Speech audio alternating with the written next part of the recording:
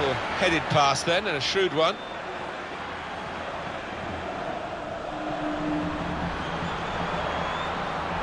Shot on!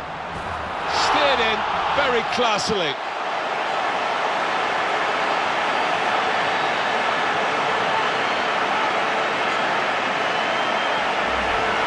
He looked the goalkeeper in the eye.